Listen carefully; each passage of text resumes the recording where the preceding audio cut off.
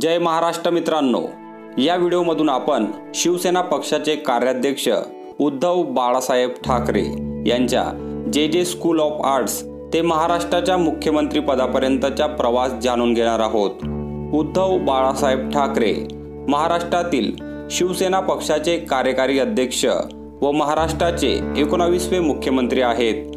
गेल्या अनेक दशकांपासून मराठी माणूस शेतकरी आणि कष्टकरी जनतेच्या कल्याणासाठी कार्यरत असलेल्या उद्धव ठाकरे यांना हिंदुत्वाच्या प्रसारासाठी आपल्या कर्तृत्व आणि वक्तृत्वाची तलवार तळपती ठेवणारे हिंदू हृदय सम्राट शिवसेना प्रमुख बाळासाहेब ठाकरे आई मीनाताई ठाकरे आणि आजोबा प्रबोधनकार केशव सीताराम ठाकरे यांचा समृद्ध वारसा लाभला आहे. उद्धव ठाकरे यांचा जन्म सत्तावीस जुलै एकोणावीसशे साठ रोजी मुंबईत झाला. साधे राहणीमान शांत संयमी स्वभाव आणि वक्तृत्व शैलीमुळे त्यांनी लाखो लोकांच्या मनात स्थान मिळवले. त्यांचा विवाह रश्मी ठाकरे यांच्याशी झाला असून त्यांना आदित्य आणि तेजस अशी दोन मुले आहेत. त्यातील आदित्य ठाकरे हे आजोबा आणि वडिलांच्या राजकारणाच्या वसापुढं चालवताना दिसून येत आहेत. ते सध्या युवा सेना प्रमुख असून वरळी विधानसभा मतदारसंघातून निवडून आले आहेत. उद्धव ठाकरे यांनी राजकीय जीवनाची सुरुवात विद्यार्थी दशेपासून केली आहे. आरंभीच्या काळात शिवसेना प्रमुख स्वर्गीय बाळासाहेब ठाकरे यांनी पायाभरणी केलेल्या सामना या वृत्तपत्राच्या कामकाजात ते सक्रिय होते. शिवसेनेच्या माध्यमातून सामाजिक आणि राजकीय जीवनात सक्रिय असलेल्या उद्धव ठाकरे यांच्याकडे दोन हजार दोनच्या बृहन्मुंबई महानगरपालिकेच्या निवडणुकीची प्रचार प्रमुख म्हणून जबाबदारी आली.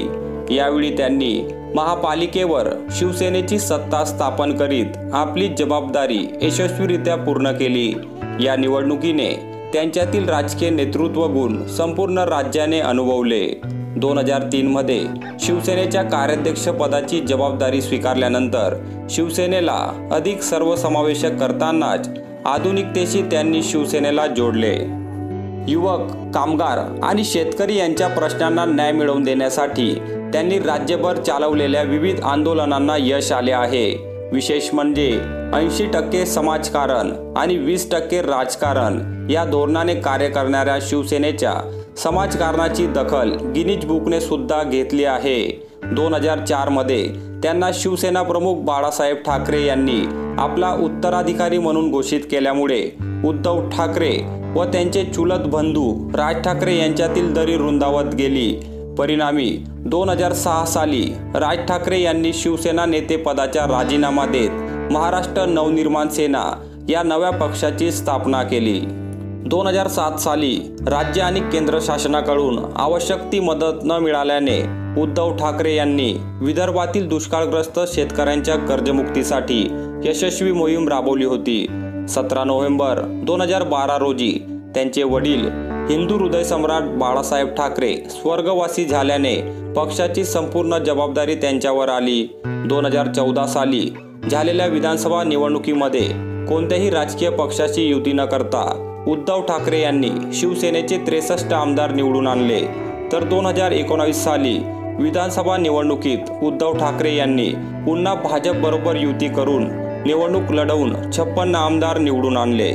पण सत्ता वाटप करण्यात वाद निर्माण झाल्यामुळे युती तुटली व उद्धव ठाकरे यांनी राष्ट्रवादी काँग्रेस काँग्रेस आय पक्षासोबत महाराष्ट्र विकास आघाडीचे सरकार स्थापन केले व अठ्ठावीस नोव्हेंबर दोन हजार एकोणावीस रोजी महाराष्ट्राचे एकोणावीसवे मुख्यमंत्री म्हणून शिवसेना पक्षप्रमुख उद्धव ठाकरे यांनी राज्यपाल भगतसिंह कोश्यारी यांच्याकडून पद आणि गोपनीयतेची शपथ घेतली.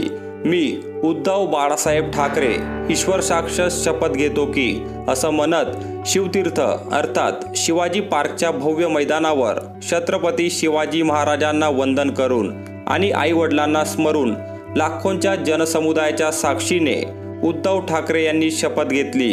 विशेष म्हणजे मुख्यमंत्री पदाची शपथ घेतल्यानंतरच्या पहिल्याच मंत्रिमंडळाच्या बैठकीत त्यांनी रायगडाच्या संवर्धनासाठी वीस कोटी रुपयांची मंजुरी दिली. उद्धव ठाकरे यांनी जे जे स्कूल ऑफ आर्ट्समधून पदवी घेतली आहे त्यांच्या महाराष्ट्र देशा या छायाचित्र संग्रहातून उद्धव ठाकरे यांनी शिवाजी महाराजांचे गड किल्ल्यांची एरियल फोटोग्राफी केली आहे. तर पहावा विठ्ठल या छायाचित्र संग्रहात महाराष्ट्राची सर्व धर्मजातींना एकत्र घेऊन जाणारी सर्वांना समतेची तत्वज्ञान शिकवणारी भागवत धर्माची सांस्कृतिक परंपरा असलेली विठ्ठलाच्या वारीचे छायाचित्रण केले आहे. आपल्या छायाचित्र प्रदर्शनाच्या माध्यमातून दुष्काळी भागातील शेतकरी आणि वन्यजीव संरक्षणासाठी निधी उभारून त्यांनी मदत केली आहे.